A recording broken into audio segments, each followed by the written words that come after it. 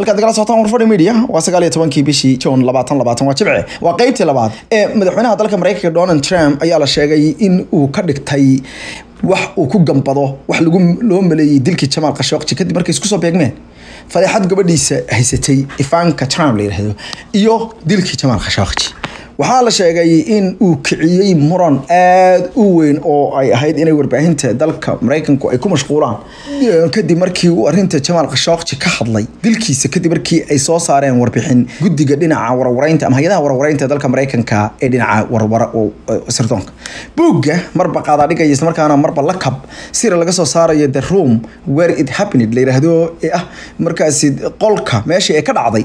Buugga uu bixiyey bolton caalamka o dhan sida weyn u soo jiitay oo weli aan la soo saarin laakiinse la gurubsanayo oo ay iibsanayaan wakaaladaha qaarkood qoraalada qeybo ka mid a ayaa waxaa la sheegay in ay arrintu ahayd mid la yaab leh waxay arrintu dhacday baa la yidhi in ifaanka trump lagu hayay inay si xun u maamushay xafiiska ay ku magacaaban tahay ee ah la taliyaha madaxweynaha gabadhiisa ifaanka trump iyo ninka qaba ee jared kushner labadaba waxay ka shaqeeyaan aqalkacad waxaana la sheegay in ifaanka trump ay isticmaashay mid ka mid a waxyaalaha ugu waaweyn dhinaca dembiga ee lagalo shaqada oo ah inay emailkeeda gaarka ah u isticmaashay shaqada dowladda. Dalka mareykanka waxaa mamnuuc ka ah in marka aad u shaqeynayso dowladda mareykanka islamarkaana aad arrimaha siyaasadda ee mareykanka ku dhex jirto aada isticmaasho emailkaaga khaaska ah. Markaad ka hadlayso arrimaha dowladda ama dalka. Waana taa mid ka mid a arrimihii ugu waaweynaa ee xilka madaxtinimada ku weyday hillary clinton oo la sheegay in sannadkii markay ahayd xogayaha arrimaha dibadda ee dalka mareykanka ee sannadkii labadii kun iyo ilaa labadii kun ay isticmaali jirtay baa layidhi markaasi ama isticmaali jirtay baa layidhi email gaar ah oo ay kumanaan kun oo email ka dirtay taasoo caqabad ku noqotay markii la dooranayay ee markaasi ee dambe ee la doonayay in doorto haatan waxaa la yidhi arrintooda waxay u dhacday sida buugga ku qoran waa sidan. Wuxuu yidhi john bolton markii shan iyo toban ruux ay si xun u dileen jamaal khashooqji ayna ku dileen magaalada istanbul sannadkii labadi kun bishii octoobar waxaa dhacay ayuu yihi la yaab leh oo ahayd ayuu in gudiyada dhinaca warwareynta hay'adda i eda dalka mareykanka ay ugu horeyso ay soo saareen go'aamin ahayd. In soddon iyo afar jirka dalkaasi layliya sacuudi arabia ee la yidhaahdo boqor amiir maxamed bin salmaan bin cabdilcasiis loo garan ogyahay si afjaaq ahaan m uu ka dameeyey dilkaasi islamarkaana uu amray. Isagu uu abaabulay go'aamiyey in la qurbo sidoo kale ninkaasi ama qurbi qurb loo gogoyo taasi waxa ay dusisay hay'adda si ayadu waxayna la wadaagtay madaxweynaha trump. Madaxweyne trump oo ogaa inay maalmahaasta qarxeen eedeynta ku saabsan gabadhiisa ifaanka waxaa uu go'aansaday inuu arrinta si kale u duwo. Kadibna wuxuu yidhi waa dhici kartaa inuu dilay laakiin waxaan u malanaya inuusan dilin. Taasoo meesha ka saaraysa in uu tuhungeliyey isla markaana madmadow geliyey go'aanka ay soo saareen guddigiisa dhinaca amniga qaranka ee gaar ahaan hay'adda c ee ugu weyn dalka mareykanka waxaa waxyaalaha mamnuuca ka ah waxaa ka mid ah in hay'adaha warwareynta iyo sirdoonka c i eda f i da ka mid yihiin uu madaxweynuhu ka hor yimaado ama uu beeniyo gaar ahaan haddii xitaa uu dood ka qabo warkoodana aysan noqonin mid warbaahinta laga sheego taasoo kalsoonida lagu qabo c i eda aan la dooneynin inay hoos u dhacdo marnaba waxaan rabaa daawashana qiimaha halkaa soomaalida marmarka qaarkood maadaama dowladnimadii aynu ilownay oo dowladnimo aysan jirin hay'adda sirdoonka qaranku waa hay'adda ugu ballaaran ee sirta qaranka gacanta ku haysa. Arrimaha dhinaca ammaanka dhinaca maalgashiga khataraha dalka ku soo socda siyaasadda dagaalka in dagaal lagu dhawaaqo go'aanka gaadhista dadka markaasi dambiilayaasha ah sidoo kale dadka iyo dalaalka wadanka khatarta ku hayo oo dhan ayaa ayaa ayaa waxay u sheegaan oo ka dhageysta madaxweynaha. Waxay u sheegaanna inuu qaato. Ayaa warbixintan ka fahmaysa. Sida buugga ku qoran. Wuxuu yidhi si cad ayuu markaa u yidhi warkay sheegeen beenna uu noqon karaa runna uu noqon karaa. Waa intaa intaa lagu haystay. Wuxuu yidhi kadibna warbixinaha dalka mareykanka iyo warbaahintiisa o dhan waxaa isqabsaday arrintaa. Kadibna ifaanka trump sidii ku badbaaday waa mid ka mid a tabaha uu ciyaaro ayuu yihi trump suu buuq u kaciyo wuxuu ku dhex dhuumiyaa in la ilaawo ama warbaahintu ay ka mashquulsho arrin kale oo aada u weynaa lahayd. Ayuu yidhi jen halkaad kala socotaan daawadayaal wararka dhinaca dunaasiyada caalamka o dhan ee geengagan dowlad dhan daawashada qiimaha leh ee haatan hindiya iyo dalka leeshine hindiya horta waxaa loo sii daayay askar tobanaana oo laga haystay sida ay sheegayso dowladda shiinuhu shiinuhu waxay sheegtay in ay sidaas u sameysay si xaaladda u dejiso waxaana la sheegay askartaas haatan inay gaadheen dalkooda ama qeybta xuduudda ah ee dooxada galwaan ee lagu gumaaday ciidanka. Waxaa tafaasiil dheeraada markii ugu horeysa laga helayaa sida dagaalku u dhacay iyo waxyaalaha la adeegsaday.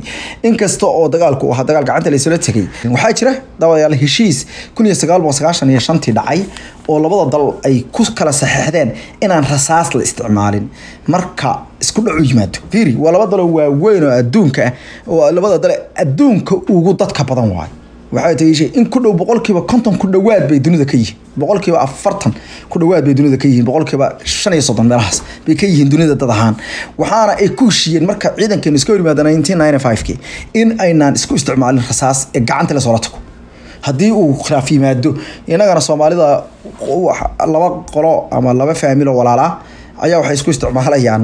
Wax allaale wixii karaankooda heli karaan xataa nuclear hadday heli lahaayeen soomaalida isku isticmaali lahayd baan malanaya gaar ahaan marka ay timaado yacni iska burso iska celiyaan lagaa tira badaan haatan markaa warbixintu waxay sheegtay in qasabka geedka la qasabka la isticmaalay. Qasabka waa geedka macaan ee sokorta oo kale ah kaasoo inta ay isticmaaleen intay soo rujisteen ciidanka ka socday dalka shiinuhu ay masaabiir ka soo taagtaageen qasabkaas iyo fed ayaa loo isticmaalay. Markaas ciidanka halka kaaratay qaab kaaratayana loo isticmaalay qasabkaasi. Qasabkaasoo masaabiir leh ayaa labaatan ka mid a ciidankaasi nafta lagaga jaray. Halka toban kalena ay il daran yihiin. Sida ay dowladda dalkaas hindiya sheegeen ciidankii meydka ahaa oo gawaadhi lagu galbinayay ayaa la dhex mariyay waddooyinka waaweyn ee magaalooyinkii qolo walba qof walba uu ku dhashay qaar ka mid a saraakiisha taasoo cadhadii ugu weyneed ka dhalisay dalka gudaha dalka hindiya. Dalka hindiya waxaa durba ka bilowday olole doonaya in lagu mamnuuco alaabaha dalka shiinaha laakiin shiinaha ayaa ka digay in midmidda kutaag ay kaga argudanayaan islamarkaana ayaguna jooji doonaan aflaanta bollywoodka ee sida trabeelka loogu qabta dalkooda wargeyska the global times la yiraahdo dalka shiine ayaa waxa uu sheegay in aysan xisaab khaldan hindiya isku dhufsanin. Sidoo kale hindiya ayaa ka digaysa in cilaaqaadka sii wanaagsanaanaya ee maraykanka iyo hindiya uu khatar ku yahay jiritaanka nolosha ee dadka reer shiine taasina ay tahay in kor loo qaado. Wararku waxay sheegayaan in sidoo kale toddobaatan iyo sideed askari oo kale oo hindiyana ay dhaawacyo fudud qabaan. Taasoo ka dhigaysa in hindida laga bursaday. Islamarkaana waxaa la sheegay in teendooyinkoodii iyo xeryihii o dhan gacan lagaga qabsaday. Ka hor intaysan ka farxan meesha oo ka cararin cadhada kale ee meesha ka taagan ayaa in dowladda dalkaas hindiya gaar ahaan ra'isul wasaare narendra modi oo isaga iyo xisbigiisu ay ku kakan yihiin dadka muwaadiniinta iyo hindida ah muslimiinta aysan arrinta tallaabada ka qaadan. Islamarkaana aysan ka argoosan dadka muwaadiniinta ayaa ku baaqaya in hindiya ay jawaab celi horey wuxuu sheegay in aysan dadkaasi aysan laga samri doonin oo aysan si qiimo jaba aysan ugula kici doonin geeridoodu waxse ka soo jeejeelay ma jirto. Wasiirka arrimaha dibadda dalka shiinaha wanyi ayaa waxa uu ka digay in dowladda dalkiisa aan riixin. Waxa uu sheegay in dowladda dalkiisa haddii lagu riixo dagaal ay garanayso waxay sameynayso. Dhigiisa dalkaasi oo khadka telefoonka ku wada hadleen ayaysan isku afgaran xaaladda sida loo geliyo laakiin waxaa la sheegayaa inay jireen labada dalba. Rabitaan ah in xaaladda aysan halkaasi ka sii darsan. Shiinuhu waxa uu ka digayaa in arrintu ay noqon karto dagaal culus haddii ay hindiya sii wado dhaqdhaqaaqa iyo go'aamada keligeeda ay ka gaadhayso gobolka ladaq ladaq ayay ka dhisaysaa wadooyin wadooyinkaasoo gudaha dalka u soo galay dhigiisa wasiirka arrimaha dibadda dalka hindiya subramanyam jaishakar ayaa waxa uu sheegay in dalkiisa uu ka qeybgelayay sagaal iyo saddex iyo labaatankan uu qabanqaabinayo shir degdega saddex iyo labaatanka bishan june oo isaguna ka qeybgelayo kaasoo looga wada hadli doono sidii laga yeeli lahaa arrimaha afhayeenkiisa anrogwa srifasta ayaa waxa uu sheegay in warbaahinta isagoo ku sugan magaalada new delhi ee xarunta dalkaasi in laga wada hadli doono. Tallaabooyin adag oo dalkaasi laga qaato ay ku jirto cunaqabatayn deg deg oo la saaro dalka shiinaha labada dal ayaa kala gambanaya. Weliba waxay u muuqataa in hindiya ay dan qaadatay.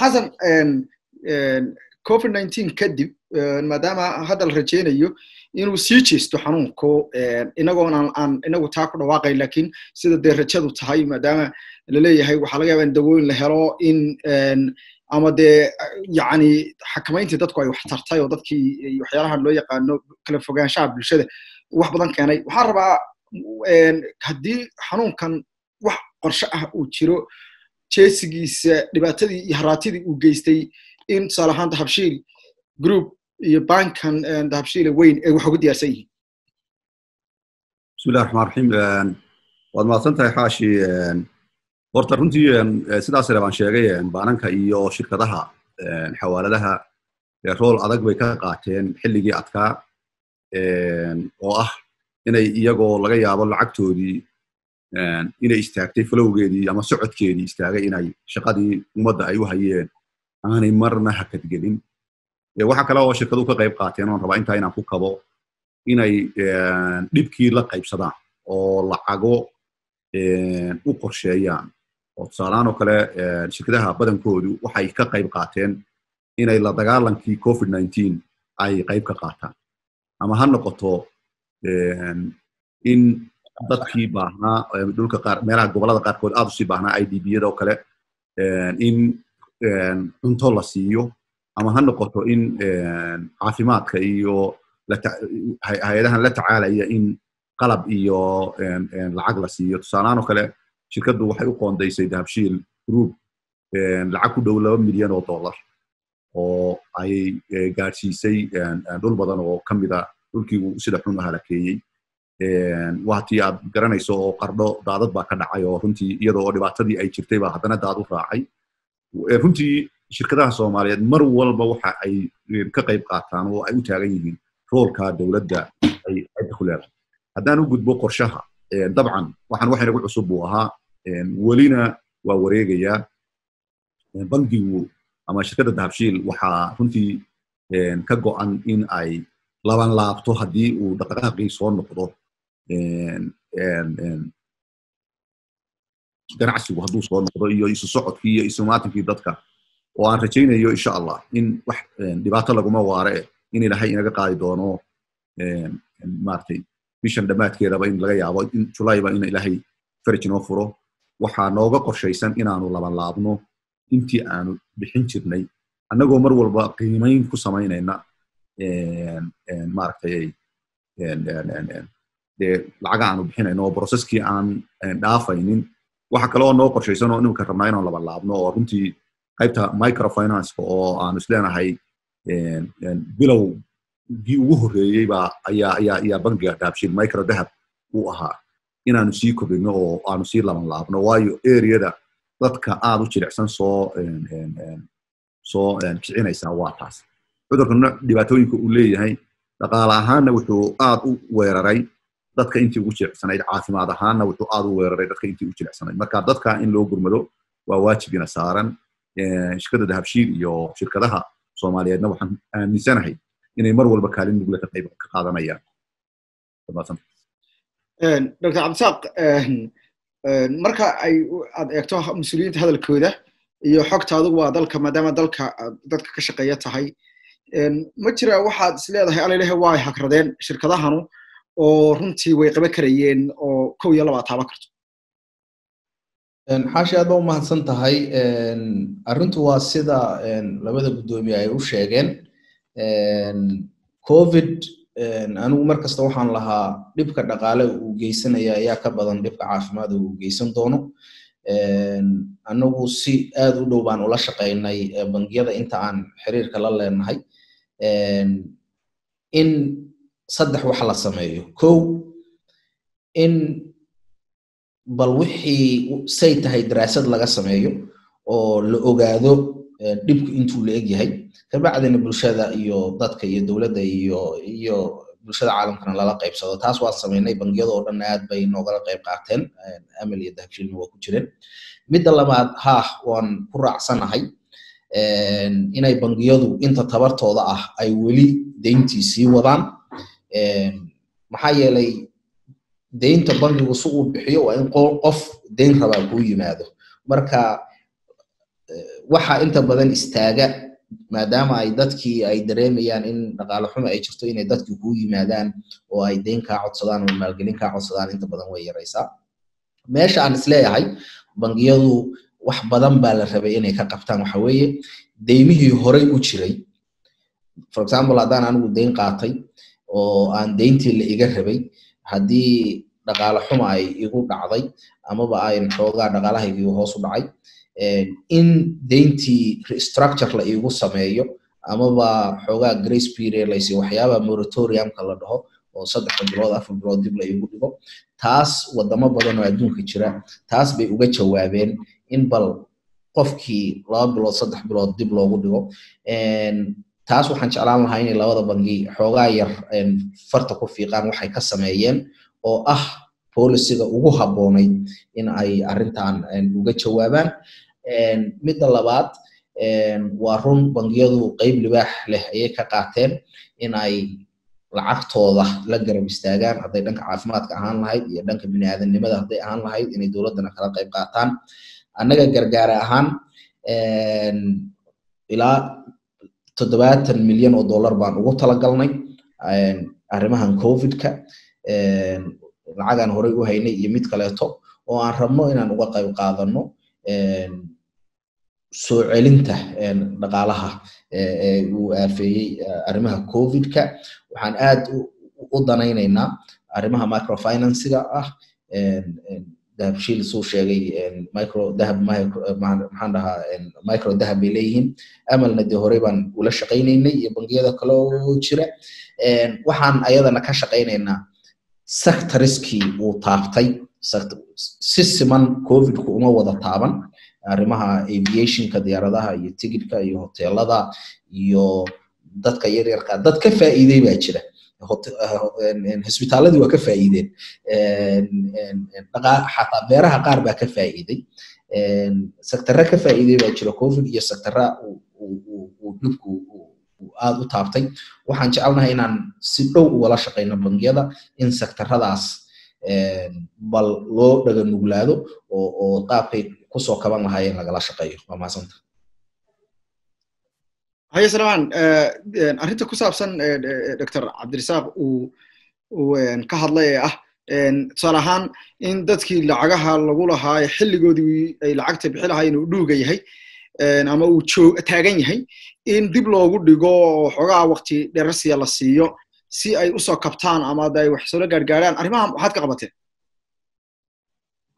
waad mahadsan tahay actual waa su'aal aad xasaasi ah maaragtay. Waayo laba laba meelood in laga eego weeye. Horta midi waxa weeyaan annagu central bankana xukuma. Marka qofku markuu lacagta la habsaamo maaragtay say ninety days sagaashan casho ama wax la mid ah ama wax waxaa jira in uu central bankigu ka dhigo lacagtaas lacag loo baahaya in in loo dhigo provision loo sameeyo. Provisions in loo sameeyo provisionkaas wuxuu keenaya in dadkii maal bankiga lahaa inay marka capital ku kabaan meeshii. Marka systemku dowladahan maarata hadda uu ka sheekeynaya cabdirasaaq waa dowlado bankiyadoodii iyo dowladdii iyo central banking wada shaqeeyeen oo sharciyadii wax laga bedelay marka haddii qofkii la yidhaahdo afar bilood qaado central banka reportka aad u gudbinaysana uu u aqoonsan yahay lacagtaas lacag luntay adigii bankiga dhibaataa gaadhaysaa mogta dhibaataa gaadhaysa taas waa mid. Marka wada shaqaynta dowladda dhexe central bank regulationskiisa iyo anaka in wax laga wada laga bedelo bay noqonaysaa mogta taas waa mid. Ta kale oo iyadana meesha ku jirta waxa sidii loo kala saari lahaa qof raba inuu ka faa'iidaysto mawduuca kan oo aan dhibaato haysan businesskii sida maa sida uu cabdisaaqada sheegay cusbitaalada kale annagu sideedda cusbitaal ugu waaweyn muqdisho ilaa waxaanu siinay expansionkoodaanu ka qayb qaadanay. Waxayna businesskoodu si fiican buu u korayaa. Marka haddii se aad tidhaahdid ku dhawaaqdid oo tidhaahdid moratorium baan siinayaa dadka ganacsi. Dad aan dhibaato sidaad u kala saari karaysaa kuwa really dhibaatadu haysato iyo kuwa aan dhibaatadu haysan. Sidaas oo ay tahay haddana way jirtay inaanu dad specifica u qadarinay oo gaara u qadarinay oo aanu siinay maaragtay xoogaa u kordhinay. Oda central bankana aanu kala hadlayno inay maaragtay aanay u aqoonsan wax lumay waxaasi laakiin ay u aqoonsadaan systemkooda wax soo noqonaya. Mogta marka wuxuu ma sahlana adigoo jecel inaad wixii wax ka qabatid baa adigiina dusha laga xukumaa. Dadkii shacabka ahaana aad iska ilaalinaysaa dadka aad wax siinaysa inaanay dadku si khalada uga faa'iidaysan wixii markaa aad adugu talagashay qofkii markaa liita marka waa arrin aad aanu jeclay in la sameeyo waxna waa ka qabanay laakiin waxaa jira caqabadahaasaa jira labada ah ee xagga shacab xagga ka imanaya clientska ama macaamiisha oo kala saaristooda iyo xagga ta muhiimka central bank inuu regulationka wax ka bedelo isagoo aqoonsan dhibaatada covidka. Taasna waa mid annaka naga baxsan arrinta cabdisaaq ma ku qanacsan tahay sida uu dhigay dr suleyman waa arrin dhaba wey okay xasan dr xasan waxaan rabaa arrinta xawaaladaha waxaa jiray dhibaatada ugu weyne dhacday sidaad sheegteen waxa weeye lacagtii kaashka ahayd cadaanka ahayd ay berdhowta suquuqul noqotay oo ay ku suquuqlo garowday maxaa yeelay lacagtii diyaaradihii baa la soo saari jiray way istaagtay maadaama aan lacagta aan la soo la soo wayar gareeji kari karaynin arrintaas waxaa jiray dalal ka faa'iidaystay xanuunkan covid iyo ganacsato ka faa'iidaystay oo dhinaca humanitarianka iyo dhinaca human right waxa loo yaqaano xuquuqda aadanaha u maray oo yidhi hanolagu xishmeeyo arrinta dhinaca xuquuqul insaanka hanaloo eego oo dowlado badan jeer dhaaf u ma samaysan wax dadaala ka xawaalad ahaan inaad u ololeysaan oo dowladda soomaaliyeed ee la aqoonsan yahay intaad u tagteen aad tirahdeen dowladda maraykanka cadaadis ku saara oo nagala hadla dadkaygii wakti adag buu ku jira lacagaha bangiyo hana la siiyo.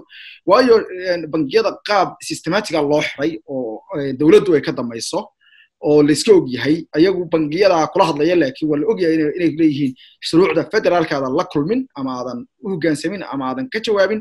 Sidaa daraaddeed baan bangiga kaaga xidhnay. Marka arrintaas wax olola ama ka samayseen ma isku daydayseen inaad ka faa'iidaysataan. Yacni iyadoo dalal badan oo xitaa maraykanka col ahaayo sida iran uu maraykanku isku qaarkood uu u sii dhaqaalo iyo dalal badan oo yacni yacni iyadoo la eegayo xaaladda adduunku galay. Arrintaas ma idinku soo dhacday marnaba bismillahi raxmaan raxiim ha runtii eh, dadaal aad u fara badan baa laga galay. Hadday noqoto world banka hadday noqoto dowladda maraykanka iyo dowladaha reer galbeedka ah oo dhan runtii culays badan baanu saarnay anagoo marayna xafiiska ra'iisal wasaaraha iyo madaxweynaha iyo central banka. Intuba way nagala shaqaynayeen. Marka baananku sideedaba waxaa sharcigan ay wax ku xidhayaan waxa soo saartay dowladda laakiin inay kaa xidhaan inay kuu furaan iyaga ayaa xor u ah oo dowladdu iyadoo kula dadaalaysa qaa'imka dowladda maraykanka oo kale runtii bangi kuma odhan karto bangi hebel oo u fur laakiin bangigu wuxuu weydiisanayaa derisking ay samaynayaan baananku ama inay iska ilaaliyaan halista iska ilaaliyaan oo iyagu categoriya ay u samaysteen baynu inagu ku jirnaa marka runtii dadaal aad u fara badan baa la sameeyey oo ilaa washington socday.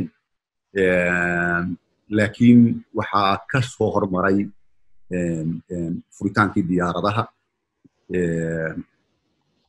Waddamada qaarna weli wixii waa sii taagan yihiin. Laakiin guud ahaan dadaalkaasu meel hore ayuu gaadhay laakiin midhihiisi isagoo dhalin ayaa diyaaradahan yurub iyo maraykan ee furmay ay ay ay runtii yimaadeen marka runtii dadaal isku duubni ah ayaa shirkadaha ka shaqeeya sectorka financeka oo baananka iyo xawaaladuhu ay ka shaqeeyeen aad baad mahadsan tahay waxaan rabaa inaan mawduuca labaad qaybta labaad ee dulcdoorka doodeenna aan u gudubno oo ah arrinta deyn cafinta arrinta deyn cafinta marxalado badan bay soo martay. Hadda heerka ay taagan tahay baan rabaa ama halkii ugu dambeysay maanta ay taagan tahay dr cabdirasaaq xasan. Bal waxaad faahfaahin ka bixisaa laba arrimood isku keen cunsi adoo soo koobaya bal dib u yar jaleec heerarkii ay soo martay iyo maanta halkay taagan tahay mase la joogaa xilligii midhaha laga gura lahaa qaybta ugu dambaysa hadalkaaga ayaan rabaa inay taasi noqoto. Bismillahi raxmaan raxiim walaalaad baa u mahadsan tahay arrinta deen cafinta sooyaal dheer bay soo martay wakti badan oo aad u tiro badan baa dowladdan hadda jirta iyo dowladihii ka horreeyeyba waxaan nidaam soo socday oo dowliyiha buu ahaa bay geliyeen. Inkastoo awooddii ugu badnayd hadda la geliyey.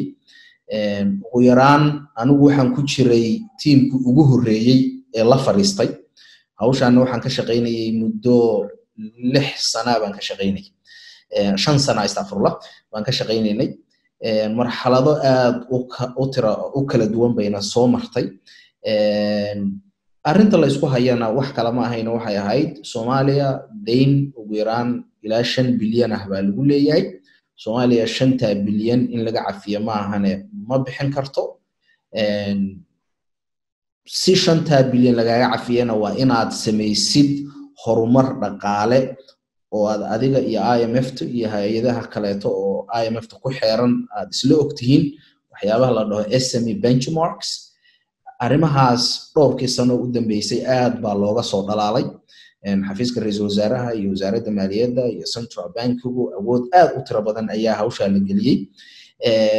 Ugu dambeyn shirkii december 2019 ka dhacay iyo ilaa iyo january socday arrintaas waa la isla gartay. Taas waxay horseeday in marso imfta iyo african development bankiga iyo world bankiga iyo hay'adaha kaleeto waddamada kaleo baris kalaab loo dhaho ay soomaaliya deyntii ka cafiyaan. Deynta cafinteedu haddana shuruudo kaleeto oo baa lagu soo xiray. Processku weli wuu sii socdaa muddo laba sano wax ka qaadanaya weeye. Taas micnaheedu haddaba waa maxay? Taas micnaheedu waxa weeye taas miraheedii waxaan aragnay waktigii covid. Deen cafinta miraheedii hadda waktigii covid baa la arkay. Taas micnaheedu waa maxay? Awal soomaaliya awood umay lahayn in ay hesho kaalmo caalamiya ama granti oo kaleeto inay hesho caadi maayo daaqado badan oo adduunka laga caawiyo baa ka xirnaa soomaaliya. Hadda for example maadaama soomaaliya ay deen cafin heshay marso lacag ugu yaraan laba boqol iyo konton milyan oo dollar ah baa covid la siiyey. Ama caafimaad ha gasho ama biyo ha gasho amaba cunto ha gasho amaba finance baalka arrimaha dhaqaalaha ha gasho taas ma aysan suurtoodeen ama budget support ha noqoto in dowladda budget lagu kaba ha noqoto taas ma aysan suurtoobeen haddii aanan arrimahan deyn cafinta aanan shaqo badan laga qaban marka hawshaas waa hawl aad muhiim u ah laakiinse hawl weli socota. Waxa hadda la sameeyey waa waxa la dhaho decision point. Go'aan baa la gaaray laakiinse completion pointna weli waa dhiman yahay. Benchmarkiga weli waa dhiman yahay oo weli reformka iyo isla xisaabtanku inuu sii socdo oo aanan halkaa lagu joojin weeye muhiimaddu. Laakiinse waa arrin aad muhiim u ahayd guulo waaweyna laga gaaray sulaymaan cabdi eh, ducaale eh, tanzania. Inagala socda amal ama shirkadaha kale eh, ee ganacsiga amal banki dahabshiil ay ka mid yihiin waa maxay waxa la taaba kara ee dana dhinaca shirkadahan madaxa banaan iyo bankinkan yare haddeer soo codomaya danta ahay ugu jirto ama wax waxyaalaha sideeda kow iyo labood kaga faa'idaysan kartaan ama idinka khuseeyo deen cafinta waad mahadsantahay sidaa cabdirasaaq sheegay deyn cafistaasi waxay furtay albaabo fara badan bay furtay. Dhaqaaluhuna wuxuu ka koobaya mid dowladdu maamusho oo public finance iyo mid private sector deynka la bixinayaana wuxuu maaha mid dowladda gaadhaya waa mid private sectorkana gaadhaya. Ama ha soo maro dowladda oo sida hadda gargaara oo kaleeto oo loo gudbiyo markaa privateka ama toos privateka ha loogu soo diro. Marka annaku aanu isleenahay waxbaa naga soo gaari kara waxa weeyaan. Inaanu isu diyaar garayno sidii aanu u noqon lahayn hay'ado la aamini karo oo u maamulaya lacagtaa sidii loogu talagalay oo aan dalkana u faa'iideynaya soona celin kara lacagtaas. Oo aanay noqon lacagta dambe la soo geli dalka soo gelaysaa mid abuurta dayn kale oo la bixin kari waaye. Taas way ta aanu isleenahay waa laga faa'iidaysan kartaan Ehm, maalan gargaara gargaara eh, maalan backgroundkeeda dad badan baa dee la socda. Waa hay'ad maataqaana wel banka iyo dowladda soomaalidu wada sameeyeen. Private sectorkuna qayb ka yahay maalan ehm, lacagaha ay hesho maaha lacaga uun dowladdu isticmaalayso qaybo ka mida ah waxaa loo waxaa loo soo gudbinayaa eh, bankiyada. Bankiyadana kuwii markaa systemkooda loo bogo inay u shaqaynayaan sidii eh, caalamka waa waa waa waa loo gudbin karaa iyakuna markaa waxay gelin karaan wixii loogu talagalay oo shir oo ah ama kalluumaysi ama mataqaana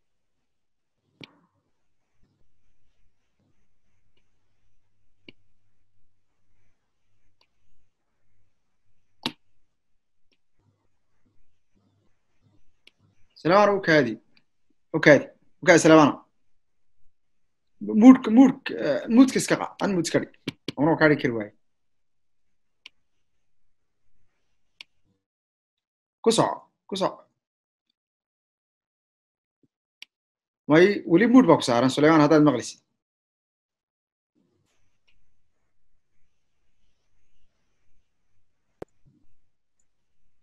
waa tahay hadda noqday marka annagu banki ahaan waxaanu ahay noqonay bankiyada dhowrka ah ee hadda qualifiedka u noqday inay maaragtay lacagahaas maamuli karaan siyaabaha kale aanu kale isleenahay waa looga faa'iidaysan karaa waxa weeyaan oo wada shaqaynta dowladda iyo iyo bankiyadu iyo central banku waa key waa muhiim maogtahay waa aad aad bay muhiim u tahay. Si dalku wax helo oo channelska kan matalan waxaad ka soo qaadaa sharciyada ilaa iyo haddeerto aan sida fiican u hirgeli karin waxaa ka mid ah maaragtay mortgageska guryaha oo kaleeto. Hadda waxaanu la macaamilaa shirkad maraykana oo diyaar u ah for example inay na siiso lacag aanu dadka siin karo inay dadka shaqaalaha ahi guryo ku iibsadaan kuna bixiyaan toban sannadood iyo wixii ka badan. Taasoo kale matalan ma suurtagal haddaan deynka la cafin waayo shirkaddaas waa shirkad invest maalgelina lacagtii bay keenaysaa. Qofkii shaqaalaha ahaa ee matalan mushahar fiican qaadanaya kun ama wax ka badan wuxuu heli karaa inuu guri iibsado boqolkii ama siddeetan kun ama boqol kuna xoogaa down bixiyo inta kalena ten percent. Sida dee caalamka uga dhacda oo iyadoo weliba islaamika hoose islaamika loo structure gareeyey waxyaabahaasi waxaa dhici karta in waxaa jira funds loogu talagalay africa oo private equities ah oo billion hundreds of billions ah oo mataqaanaa meelo badan ama johannesburg ama london ama kenya ama meelo badan ka furan qaybteenaynu heli karaa ogtahay waxaa jira african development bank iyo afriexim afroexim iyo mataqaanaa ifc oo aanu hadda runtii wada hadal fiican la leenahay waxay kuu soo fasixi karaan maaragtay inay maalgelin ay ugu talagalaan africa qaybtii soomaaliya la heli karo. Marka annagu waxaanu is leenahay lacagta really u baahan horumarka keeni karta. Waa lacagta sectorka private sectorka la soo marayo haddii private sectorku diyaar u yahay ama gaarsiisan yahay heer uu la macaamili karo suuqyada caalamiga oo number one sidaa uu hadda sheegay ama xasan uu sheegayay ama mataqaanaa in capabilitieska ama awoodda shirkadahaasi ay ay ku leeyihiin inay xisaabaadkooda hagaajiyaan inay controls yeeshaan inay mataqaanaa boardkooda iyo managementkooda kala baxsan yihiin in ay reporting fiican ka bixin karaan maalgelinta inay khatarta dersi karaan inay caddeeyaan. Marka waxaan filaya caqabadda hadda ugu weynan haysataa maaha tii deyn cafiska caqabadda ugu weynan haysataa waxaweye shirkadaha privateku say u gaari lahaayeen heer ay internationally ama caalamiyan ula macaamili kari lahaayeen dadka maalgeliyayaasha ah ama ama dowladaha multinationalka ama multilateral organizationska ha noqoto ama ama ha noqoto development organizationska dowladaha qaarkood leeyihiin oo ay rabaan inay lacag gelin ama private sectorka ee private investorska ha noqoto. Noogu weyn hadda waxa weeyaan in capabilitieska awoodaha shirkadahaasi u leeyihiin xagga maamulka in kor loo qaado iyo siday u caddayn lahaayeen inay wixii u maamulayaan. Ta kale waxa weye sharciyada dalka. Sharciyada dalku weli ma gaadhin heer fiican. Maalan hadda company looga dhowaan baa la ogolaaday waxaana u sababahaa gargaara. Moogta lacagtii la keenayay oo iyadoo baarlamanka iska yaallo sharcigu baa markaa la dedejiyey si lacagtaas maaragtay loo helo. Marka ma aha in aad sharciyada la sugtid in marka ay crisisku dhacaan. Waxa fiican baarlamanka iyo dowladdu inay ku dadaasho wixii sharciyad dalka u yaallay ee businesska khuseeyey inay iska dhammeeyaan. Insurance loo loo baahan yahay mortgage loo loo baahan yahay kan shirkadaha audit gareeya in qualificationkooda la eego baa loo baahan yahay oo loo sameeyo mataqaana charter waxaa loo baahan yahay. Waxyaaba fara badan collateral management wax la yidhaahdo all these inay jiraan si dadku markay lacagta gashanayaan uga arkaan financial infrastructure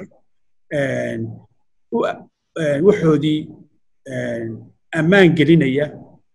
Haddii dhibaata dhacdana ay xaqoodii ku heli karaan iyaga oo adeegsanaya maxkamadaha dalka iyo sharciyada dalka u yaalla. Marka waa un process bilaabantay oo loo baahan yahay dhan walba inuu horumar ka dhaco si loo helo midhihii deyn cafiska dhibaato cusubna aan loo gelin. Xasan bal arrinta fursaddaas dhinaca deyntan la cafiyey shirkad ahaan shirkadda dahabshiil hadday wax ka beddeshay iyo fursadaha kale as alalehe way ka bannaan yihiin oo kadibna hadhuta shacabka soomaaliyeed ayay gaadhsiin karaan sida uslamaan ku tuntuunsaday ay qoondada ugu badan u heli kar lahaayeen shirkadaha gaarka loo leeyahay oo uu yidhi warqaalaha ugu badan waxay haddii fursad ay u helaan yani shirkadaha gaarka loo leeyahay waxay noqon doontaa wax jeebka dadka kala arrintaas bismillahi raxmaan raxiim waad mahadsan tahay xaashi waad mahadsan tahay runtii odayaashii iga horreeyey baa dhameeyey dayn cafinta broseska kiisii u horreeyey baa la bilaabay. Shaqo badan badan badanna waa u harsan tahay oo runtii cid waliba inay qaybta kaga soo aadan ka qaadato ay muhiim tahay. Mana aha meel gaara iyo inay saamaynaysa ee maaragtay dadkao dhan bay saamayn ku yeelanaysaa hadda stageka aynu marayno laynooma ogola inaynu deyn kale qaadano oo deyn kale imika lama qaadan karo. Laakiin waxa inoo furmaya sida odayaashii igu horreeyey sheegeen daaqado kale oo ama horumarin ha noqoto.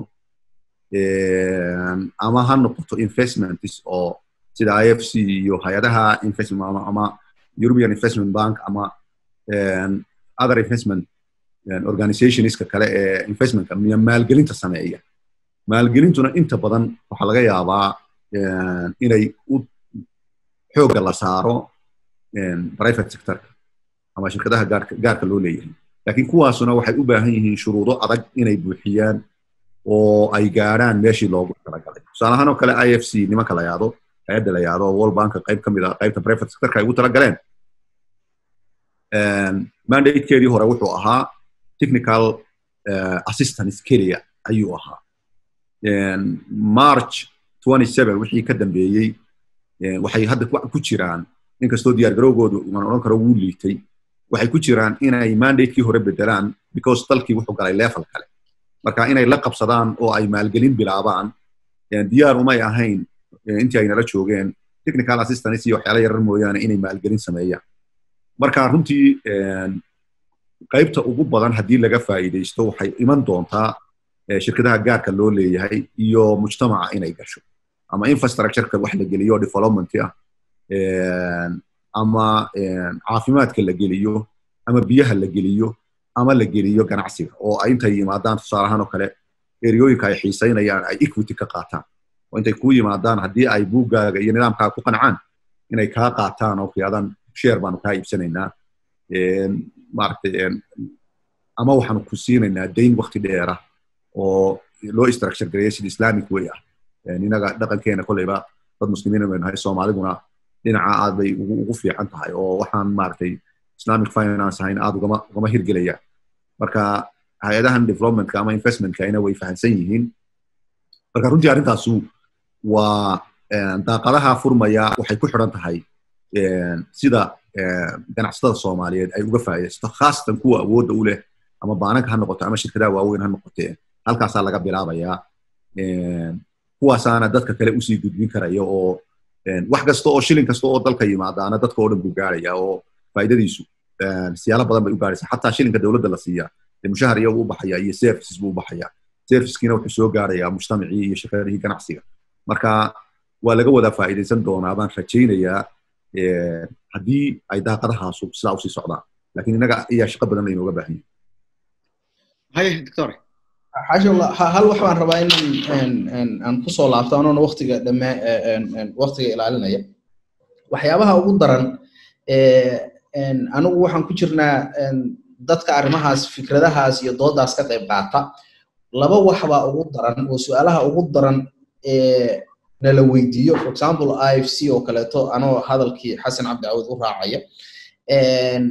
Saddex caqabadood bay inta badan sheegaan anoo hadalka ku soo celinaya saddex caqabadood bay sheegaan oo dood aad u adag ay ka qabaan. Marka la dhaho i f c amaba ada iyo private investors oo kaleeto soomaaliya imaada oo wax ka qabsada. Saddex dood baa hadda meeshay timid. Dooda koowaad waxa weeye islamic financiga oo arrinta hadda xuseen xasan cabdi cawad uu dusha istaagay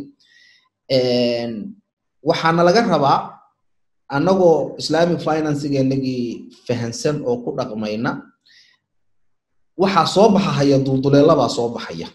Dulduleeladaas oo ah sidee islamic financiga bangiyada ama waddanka ka jirahay ula jaan qaadi karaa structure innovation ama investmentiga cusub? Taas waa challenge hadda soo baxday oo annaga laftiganaga hadda gargaara markii aan samaynaynay aqoon darrina annaga dhankanagana haysatay dhanka internationalka haysatay. Marka waxaan rabaa inaan ku soo riixo bangiyada in ay u diyaar garoobaan structure of finance ah oo ka duwan kii aan barannay oo muraabaxadii gaari inta la soo iibiyo ama guri la soo iibiyo structures ka caalamisan oo innovation u baahan oo in la fakiro u baahan baa loo baahnaan doonaa. Taas horta inaan dusha hoosta ka xariiqaan rabaa oo inaad ku fakirtaan. Taas macnaheedu waxay noqonaysaa in shareeca boodhyada jira. For example dhibabka jira waxa weeyaan one bangi waxbuu ku leeyahay shareecadu waa okay. Haddana anadii bangi wuxuu ku leeyahay waxaan waa xaaraan lama taaban karo. Marka sidii consistency loo abuuri lahaa oo for example haddana waa idinku soo riixayaan. Sidii shareeca board sida central bank board uu hadda u leeyahay in shareeca board oo fadwadu dhankaa ka soo baxaysa loo helo innovationkana loo badiyo. Taasi waa arrin u baahnaan doonta in laga wada shaqeeyo international investorskuna ay sugayaan. Taa waa mid. Midda labaad dooda kaleeto oo soo baxda waxa weeyaan waddankii ma laha af ingiriis baan isticmaalayaa investable projects. Macnaha waxay ka wadaan projects sizeka aan rabna la eg. Way fahanteen soo maha investment sizeka aan rabna la eg. Ama projectable ideas ama projects ma laha. Macnaha waxay raadinayaan ticket size weyn. Mashaariic waaweyn oo waaweyn oo qiimalo ay ka dul istaagi karaan. Because kuwii hoose annagaa ku filan. Fikraddaasna inaad u diyaar garowdaan oo la package gareeyo fikradahaas oo investable ideas ama projects la helo taasna waa muhiim. Midda saddexaad oo dhibka ugu badan ah waxa weeyaan riskigii yaa qaadaya. Riskigii soomaaliya hadda waxyaabaha kaloo guusha laga gaaray oo again ay ay ay arrimaha deen cafintu ay sababeen waxa weeye in miiga ay soomaaliya ku soo laabatay. Miiga waxay u taagan tahay multilateral insurance guarantee agency iyadana waa sister agency oo kaleeto oo walaala ah world bankiga oo arrimahaas oo kaleeto loogu talagalay. In xiriir dhow lala sameeyo because qofku hadduusan riskiga insurance qaadaya uusan jirin waa adag tahay inuu waddanka ku soo dhiirado annagoo og marxaladaha nagu aadan. Saddexdaas arrimood iyo midda koowa weyn oo ku xeeran oo waddankan sanad walba wuxuu galaa waddanka adduunka ugu musuq maasuqsan oo numberka ugu hooseeya boqol sagaashan iyo something buu galaa. Taasna ma ahan inaa dhab inaan waddankan waddanka musuq yahay ee xogta iyo daytada waddankan laga hayo baa aad u yar. Meel kasta zira la gelinayaa meel kasta zero marka la geliyo ama ma ogin baa la gelinayaa dee numberkaagu averagekaagu kan ugu hooseeyuu noqonaya waxa soomaaliya ka dhiga waddanka adduunka ugu musuq maasuqa badan sanad walba ma ahan dhab ma ahan. Ee waxa weeye waddankan information data lagama hayo aad baan ugu faraxsanahay in hay'adda statisticska dib loo soo aasaasay oo ay wax ka qaban karto. Again arrimaha enabling environment oo dhankii sharciyada ku jiraan dhanka maxkamadaha ku jiraan dhanka arrintan la dul istaagay oo bookkeepingka ah. Maxaad qofkii wax ku darsatay haddaadan ogeyn inuu faa'iiday iyo inuu khasaaray? Waa fahan soo maaha? Taasna waa muhiim oo ayaduna ay dhab tahay in la helo hay'ado audit hay'ada accounting oo chartered ah oo la isku halayn karo waddankan wax kaada. Waxyaabahaas oo dhan shaqo aad u tiro badan baa ka taagan. Laakiinse saddexdii hore baan ku soo u soo gudbinayaa odayaasha igula jira madashan si ay uga hadlaan. Waa mahadsantiin